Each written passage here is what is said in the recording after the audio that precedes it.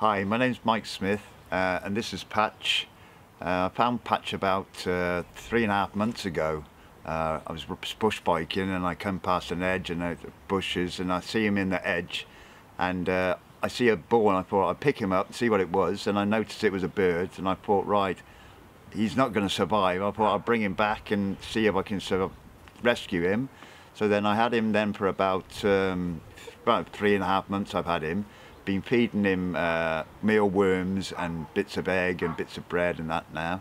Uh, things that I've been doing with him, he's been, uh, I, one night I take him out to watch this football and he went into the tree and it was raining and it rained for, for three, four hours and I didn't see him until the next day. I went back up the next day and I called him and he came out the tree. He was in the tree all night. I take him on my push bike.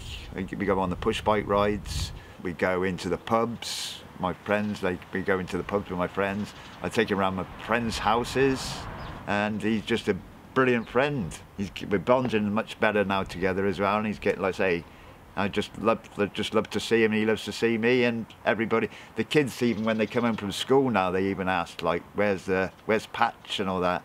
And he seems to be a big star now around Malvern. What I have started doing with him now, I started doing little tricks. So I put my hand over it and I cover him and I go like Bebo and play hide and seek and he puts his head down and then I, he pops his head up. Uh, the other thing what he does is uh, he's very like my sets of keys and all that and things like that. He uh, takes them, he picks them up and flies off with them. Uh, and, and, also with my cigarette, he picked them and go. I chase him around the garden. He has a cigarette in his mouth. I'm trying to get it out of his mouth. I couldn't get it, but he breaks it up. Then I think he doesn't want me to smoke and uh, my Rizla papers, I have Rizla and, and he takes them and he breaks those up as well.